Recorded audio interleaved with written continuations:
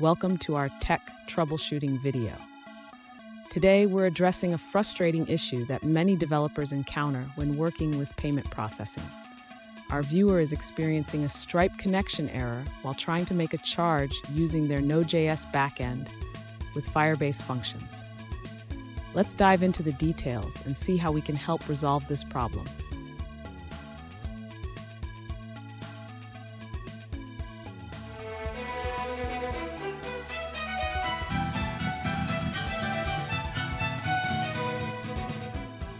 Welcome back to another technical video.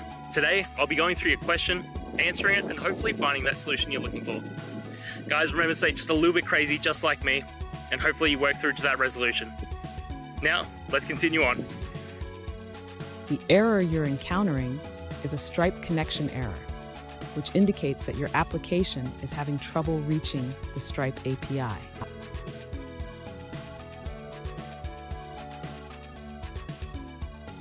First, let's check your network connectivity. Ensure that your Firebase Functions environment has internet access and can reach external APIs.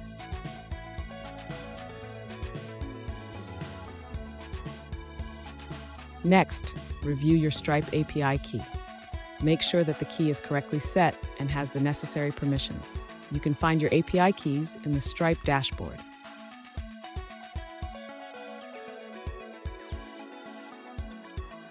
Additionally, check for any firewall or security settings that might be blocking outbound requests to Stripe's API.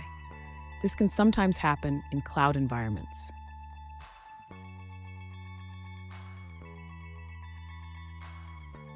Lastly, if everything seems correct, consider testing your code locally to see if the issue persists outside of Firebase functions. This can help isolate the problem.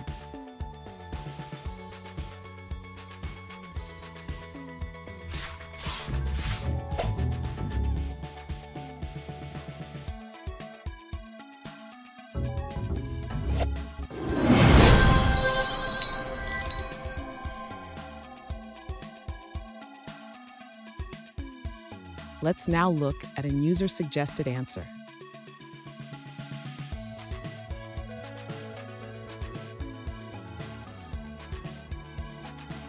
To resolve the Stripe connection error, simply switch to the Blaze plan. This allows you to make calls to the Stripe API directly from Firebase functions.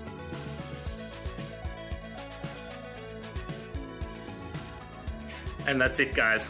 I hope this video helped find that resolution you're looking for. If it did, please hit subscribe. I'd really appreciate it. And until next time, I hope you have a good one. Cheers.